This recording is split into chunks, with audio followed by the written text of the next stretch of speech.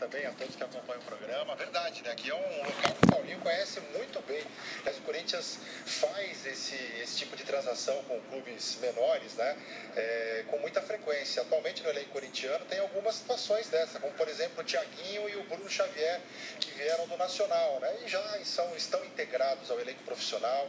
Ambos já foram escalados para partidas, né? Não chegaram a, a estrear ainda com, com o time principal, mas participaram de preleção, da, conheceram o estádio de, de, da Arena Corinthians, né? Enfim, aos poucos são integrados. Isso aconteceu com o Paulinho, ele foi muito bem, partiu aí para a Europa depois, em sequência, agora na Copa do Mundo, né? E o Corinthians tem feito isso com, com uma certa frequência.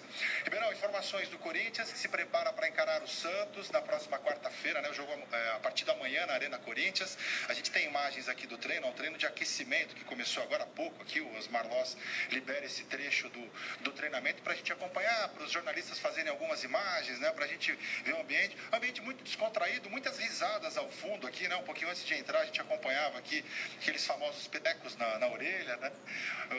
Uh, um pouco antes estavam jogando aquele tradicional fute-mesa, né? Que está virando mania aí entre os, os jogadores de futebol. Mas um ambiente muito tranquilo. O técnico Osmar Loss que começa é, a partir de hoje, praticamente. Ontem o, o, o elenco principal ficou na academia fazendo um treino regenerativo. Hoje ele começa a quebrar a cabeça e pensar no time que encara o Santos amanhã. Um jogo importante para o Corinthians que perdeu no final de semana para o Flamengo, caiu na tabela de classificação e todos irão lembrar das metas do Corinthians.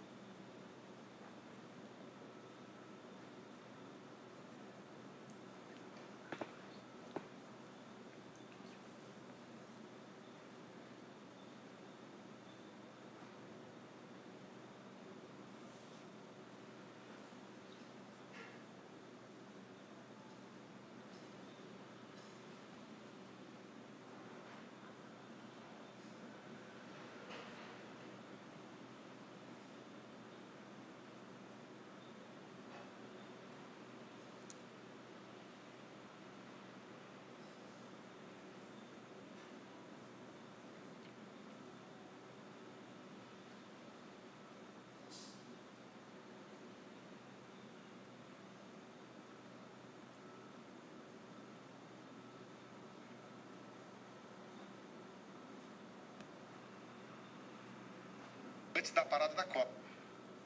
Né, que era a classificação para as oitavas de final na Libertadores da América, classificação na Copa do Brasil e também se mantém entre os líderes do Campeonato Brasileiro. E essa meta muito passa pelo jogo de amanhã, principalmente contra o Santos, um jogo em que o técnico